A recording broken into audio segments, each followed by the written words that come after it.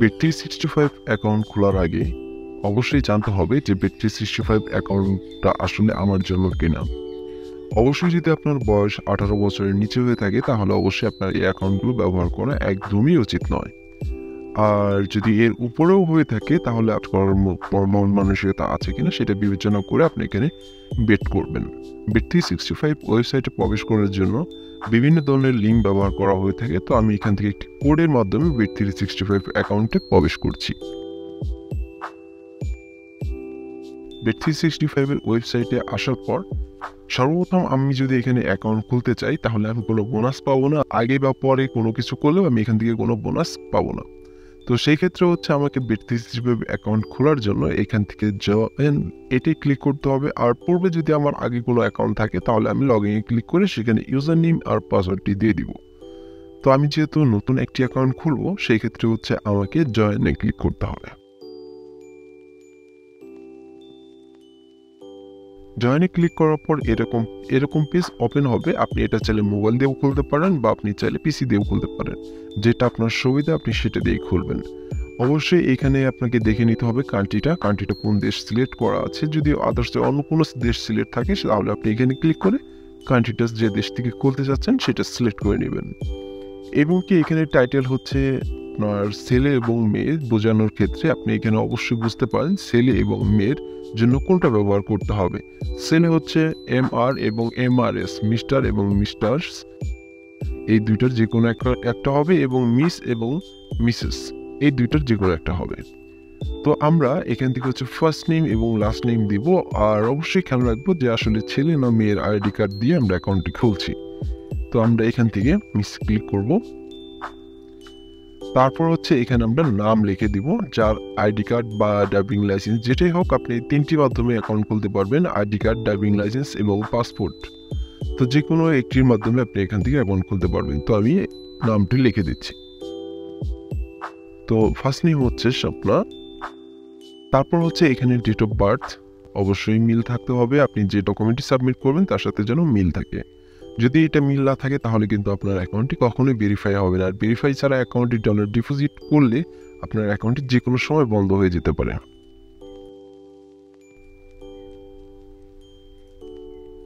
তারপর একটি এখানে বলেছে ইমেল এর কথা বলেছে। আমাদের এখানে একটা ইমেল ব্যবহার করতে হবে, আর অবশ্যই ইমেলটি অ্যাক্টিভ ইমেল দিতে হবে। তো আমরা একটা এখানে মেল দিয়ে দিচ্ছি। আর এখানে একটি কন্ট্যাক্ট নাম্বারের কথা বলা হয়েছে। অবশ্যই আপনি যে নাম্বারটি দিবেন, সেই নাম্বারটি ইউজ করা হতে হবে। অবশ্যই ইউজ করেন, এরকম একটি নাম্বার দিতে হবে। কারণ এই নাম্বারটিতেই আপনার একটি ওটিপি কোড যাবে। সেই কোডের মাধ্যমে আপনার থ্রি সিক্সটি ফাইভ অ্যাকাউন্টটি ভেরিফাই করতে হবে নাম্বার ভেরিফাই পরবর্তীতে এখানে যে কথা বলা আছে receive information on free bets and offer আপনারা যদি কোনো ইনফরমেশন বা কোনো মেসেজ সম্পর্কে জানতে চান, তাহলে এখানে দুইটার যে কোনো একটা দিতে পারেন। তো আমি এখান থেকে নো থ্যাঙ্কস আমার কোনো প্রয়োজন নেই। এখন হচ্ছে অ্যাড্রেস যে ডকুমেন্টটি সাবমিট করব, তার অপোজিট সাইডে বা যে ঠিকানাটি আছে অরিজিনাল যে ঠিকানা, সেই ঠিকানাটি অবশ্যই এখানে দিতে হবে। তো আমি অ্যাড্রেসটি দিয়ে দিচ্ছি। এখানেও অবশ্যই দেখবেন অপশনাল এগুলো আপনার দিলেও চলবে, না দিলেও চলবে। আপনি দিলে সমস্যা নেই, না দিলেও কোনো সমস্যা নেই। এইগুলো এই কটা হওয়ার পর পূরণ হওয়ার পর আমরা আরেকটু নিচের দিকে চলে যাচ্ছি। আরেকটু নিচের দিকে আসার পর এখানে দেখতে পাচ্ছি ইউজার নেম ছয় থেকে চোদ্দোটা লিটারের মাধ্যমে আমাকে একটি ইউজার নেম দিতে বলছে। তো আমরা এখানে দু একটা অক্ষর দিয়ে দিচ্ছি, দেখি হয় কি না। তো এই সংখ্যাটি দিয়ে দিলাম। এই সংখ্যাটি দেওয়ার পর দেখছি নিয়ে নিয়েছে। তারপর হচ্ছে আমরা একটা পাসওয়ার্ড ব্যবহার করব এখানে। তো পাসওয়ার্ডটি আমরা অবশ্যই ছয় সংখ্যা প্লাস মানে ছয় সংখ্যার উপরে একটি পাসওয়ার্ড দেওয়ার চেষ্টা করব, তো আমি এখানে একটা পাসওয়ার্ড দিয়ে দিচ্ছি।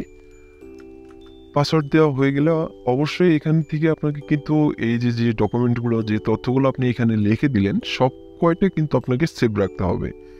আপনাকে সবগুলোই সেভ রাখতে হবে। কারণ আপনি কখন কোনটা ভুলে যান বা আপনাকে, আপনার কাছে কখন কোনটা চেয়ে বসে, সেই ক্ষেত্রে আপনাকে এগুলো অবশ্যই সেভ রাখতে হবে। যেহেতু এখানে বোনাস কোডের কথা বলা আছে, এটা অপশনাল যেহেতু আমাদের কোনো বাংলাদেশ থেকে কোনো বোনাস কোড ব্যবহার করা যায় না সেই ক্ষেত্রে আমরা এটা বোনাস কোডটি দিব না এবং এখান থেকে আমরা টিক মার্কটি দিয়ে দিব। এতে বোঝাতে হবে যে আমাদের বয়সটি আঠারো বছর।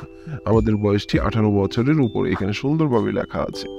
তো এখান থেকে তারপর জয়েনে ক্লিক করব। Join bet three sixty five click করার পর আমরা চাইলে এই ইনফরমেশনটি সেভ করতে পারি। আর যদি না চাই তাহলে নো থ্যাঙ্কস আমাদের প্রয়োজন নেই, তো আমরা এই পাসওয়ার্ডটিও আমরা সেভ করছি না। তো তারপর এখানে যে আমরা নাম্বারটি ব্যবহার করেছিলাম, আমি আগেই বলেছিলাম যে নাম্বারটি ব্যবহার করব, ওইটার মধ্যে ছয় সংখ্যার একটি ওটিপি কোড যাবে, সেই কোডটি দিতে হবে। তো সেই নাম্বারটি এখানে দিয়েছি। তো তারপর থেকে এখান থেকে গেট কোড এটি ক্লিক করব। এটি ক্লিক করার পর আমাদের যে নাম্বারটি ব্যবহার করেছি, সেই নাম্বারটিতে বিশ মিনিটের মধ্যে একটি ওটিপি কোড চলে আসবে, সেই কোডটি আমাদের এখানে বসাতে হবে।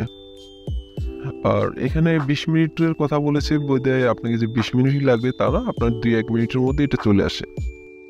তো ওটিপি কোডটি দেওয়ার পর এখান থেকে ভেরিফাই এটি ক্লিক করব।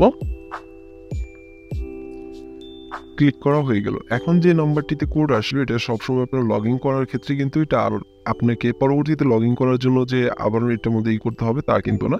এটা জাস্ট অ্যাকাউন্ট খোলার সময় একবারই ব্যবহার করতে হয়, দ্বিতীয়বার আর কখনোই ইউজ করতে হয় না। তো এখানে সরাসরি ডিপোজিট অপশনে নিয়ে চলে এসেছে। তো আমরা যেহেতু নিউ অ্যাকাউন্ট এখনও ভেরিফাই হয়নি, এটা ডিপোজিট করব না। তো আমরা এখান থেকে এটি ক্যান্সেল কেটে দিচ্ছি। কেটে দেওয়ার পর এখান থেকে আমরা এখান যে একটা আইকন দেখা যাচ্ছে, এই আইকনের উপর একটি ক্লিক করব। ক্লিক করলে এখান থেকে আমরা বেশ কিছু অপশন দেখতে পারব। এখান থেকে আমরা মাই অ্যাকাউন্ট যে অপশনটি লেখা আছে, সেটা একটি ক্লিক দেব। সেটা একটি ক্লিক করার পর এখান থেকে আমরা এখানে দেখতে পারব যে নাম্বারটি ব্যবহার করেছি, যে মেলটি ব্যবহার করেছি এবং এখানে যে যে অ্যাড্রেসগুলো ব্যবহার করা হয়েছে, সেই অ্যাড্রেসটি দেখতে পারব। তারপর হচ্ছে পাসওয়ার্ড এখানে আমরা পাসওয়ার্ড চাইলে চেঞ্জ করতে পারব। তো এগুলো কীভাবে করতে হয় সেগুলো আমি অবশ্যই নেক্সট একটি ভিডিওতে দেখিয়ে দিব। তারপর হচ্ছে এখানে ভেরিফিকেশন লেখা আছে ভেরিফিকেশনে ক্লিক করব। ভেরিফিকেশনে ক্লিক করার পর এখানে আমরা যারা দুই হাজার বিশ বা একুশের আগে অ্যাকাউন্টগুলো খুলেছিলাম, তখন এখানে আমরা দুইটা অপশন দেখতে পারতাম। একটা হচ্ছে আইডেন্টি ডকুমেন্ট আর একটা হচ্ছে অ্যাড্রেস ভেরিফিকেশনের জন্য অপশন ছিল। কিন্তু সেই অপশনগুলো কিন্তু এখন বর্তমানে নেই, সেগুলো বন্ধ হয়ে গেছে। এখন এখানে লেগেছে আপলোড আইডেন্টি ডকুমেন্ট এটার মধ্যে আমরা একটি ক্লিক করব। এটার মধ্যে ক্লিক করলে আমরা এখানে টোটাল চারটা অপশন দেখতে পারব। ড্রাইভিং লাইসেন্সের অপশনটা পাবো আইডি কার্ড পাসপোর্ট এবং ভিসা আমরা এখান থেকে এই চারটি যে কোনো একটি ডকুমেন্ট সাবমিট করে আমাদের অ্যাকাউন্টটির ভেরিফিকেশনের জন্য আবেদন করতে পারব। তো এখান থেকে আমরা চাইলে আইডি কার্ড এটা সিলেক্ট করতে পারি। আমরা আইডি কার্ড সিলেক্ট করছি। এই জায়গায় আসবে, এখানে আসার পর এখান থেকে আপনাকে স্টার্টে ক্লিক করতে হবে। স্টাডি ক্লিক করার পর এখানে আপনি দুইটা অপশন পাবেন। এখানে যে প্রথম অপশনটি আছে, আপনি মোবাইল দিয়ে করলে সরাসরি আপনার আইডি কার্ডের ছবিটি, সরাসরি ছবি তুলে দিতে পারেন।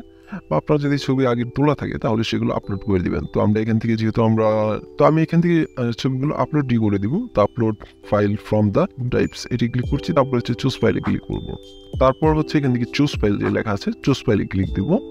এখান থেকে আইডি কার্ডের প্রথম পার্টটি আমরা দিয়ে দিব। আইডি কার্ডের প্রথম পার্টটি দেওয়ার পর, আর অবশ্যই খুব সুন্দর করে ছবি তুলতে হবে। যদি ছবিগুলো একটু ঘোলা বা আপনার কোনো জায়গায় ফ্লাশের বা কোনো কিছু দাগ টাগ থেকে যায়, তাহলে কিন্তু আপনার সেটা ভেরিফিকেশন নাও হতে পারে। তো তারপর হচ্ছে কনফার্মে ক্লিক করব। কনফার্মে ক্লিক করার পর upload back of identity card মানে আইডি কার্ডের দ্বিতীয় পার্টটি যেটা বলা আছে, সেটা আর এখানে কিন্তু আপনি জেপিজি তারপরে হচ্ছে জেপিইজি তারপর হচ্ছে পিএনজি ফরম্যাট এই তিনটা ক্যাটাগরির মধ্যে যে কোনো একটি ক্যাটাগরির পিকচারগুলো আপনি আপলোড করতে পারবেন। তারপর হচ্ছে চুজ ফাইল তারপর কমপ্লিট